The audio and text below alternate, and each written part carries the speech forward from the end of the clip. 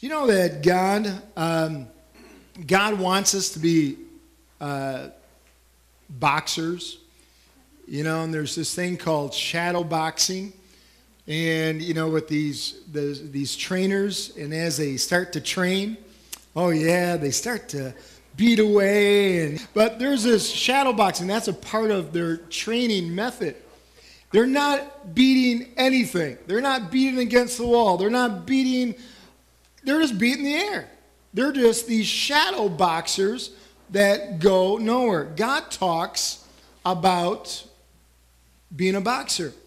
But one thing he tells us not to do is what this guy's doing. He's beating the air. He's being beating nothing. He is going nowhere. You getting tired back there yet, Tony? Give Tony a good hand, I tell you.